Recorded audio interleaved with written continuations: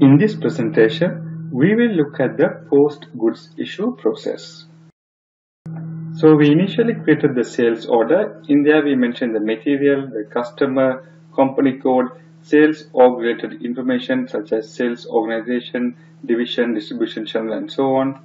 Then after you create the sales order, the next process is to do the post goods issue or to do the goods issue process. Now when you do this process, a financial accounting entry will happen. The materials account, that is your inventory account gets credited because goods is going away from your inventory, so that is credited.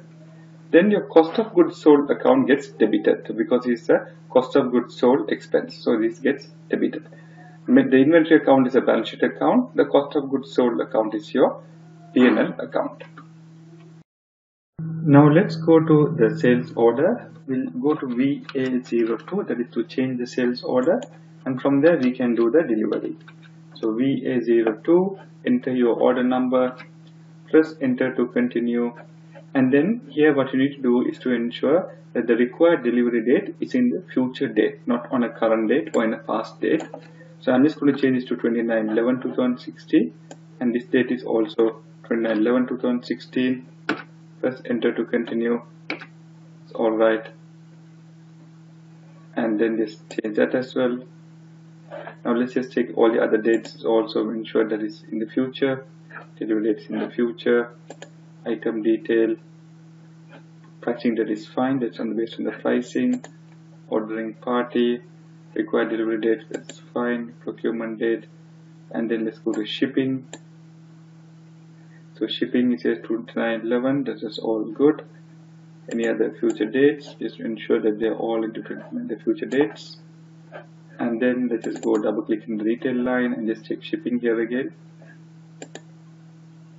So everything is all right? Okay now let's save the order.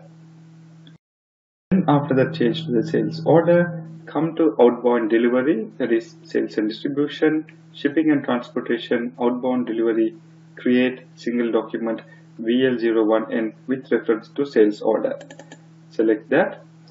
And here ensure that the selection date is also in the future.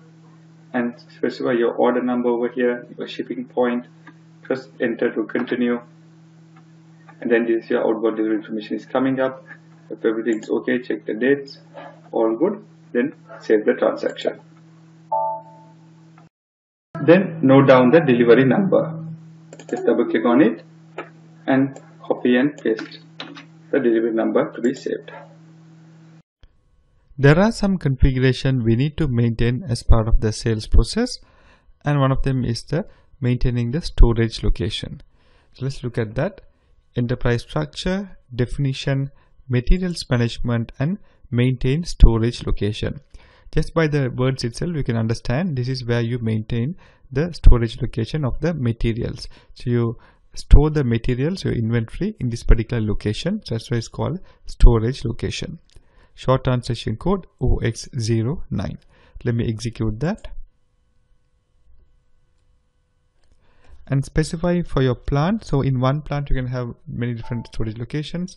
Now you can see here under this particular plant, storage location is already assigned as MSL1 or Melbourne SL1 or Melbourne storage location 1 and you can even assign the addresses and maintain the addresses as well. Let's show you they can specify an address of this particular storage location. Just call it as number one over here. And press save to continue. And here I can specify the detail of this particular storage location. I can give it an ID of this address specify where it is the storage location is located and so on for example, in one warehouse, you might have different compartments. So you can say compartment one, compartment two, and so on. You can specify different storage locations.